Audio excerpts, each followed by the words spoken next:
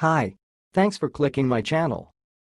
Well, today I would like to present how pronounce this word. So to begin, you can just can say Hypnoprogramming. Hypnot programming. I will repeat. Hypnoprogramming. Hypnot programming. That's all, thanks for listening. If you liked this video, please subscribe to my channel. If you want to share your opinion, please leave comment for this video. Thanks and goodbye.